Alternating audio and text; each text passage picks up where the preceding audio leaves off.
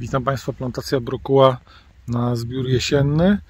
E, jeżeli chodzi o tą odmianę, już nadaje się praktycznie do cięcia. Producent za chwilę będzie ciął. Nazywam się Piotr Borczyński. E, Od 25 lat jestem doradcą upraw warzywniczych. Pracuję w Kujawsko-Pomorskim Ośrodku Doradztwa Rolniczego w Mnikowie, oddział e, Zarzeczewo. Róże są już duże.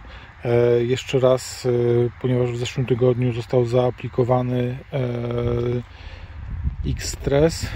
Jeszcze raz w tym tygodniu pójdzie X-Stress, najprawdopodobniej jeszcze w dniu dzisiejszym, żeby te mniejsze sztuki sobie spokojnie dorastały.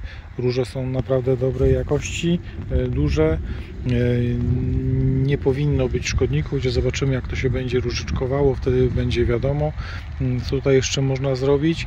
E, Po przecięciu e, można jeszcze raz e, zrobić, jeżeli ktoś będzie miał e, produkt Spintor. E, Jeżeli nie,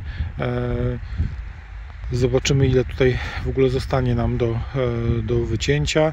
E, To zostawimy to tak jak, e, tak jak jest.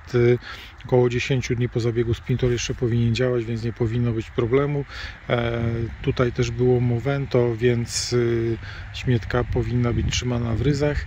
Ewentualnie jeszcze zabieg y, preparatem Nanomi, ponieważ, ponieważ jest, jest dość mokro, wilgotno i chłodno, żeby bakteriozy się za bardzo nie, nie pałętały po plantacji. Ewentualnie nawóz z wysokim potasem typu King Life potasowy e, i to wszystko. King Life potasowy, proszę Państwa, razem z protektorem, żeby to ładnie e, przykleić, owoskować e, i to wszystko na ten czas, na tej plantacji.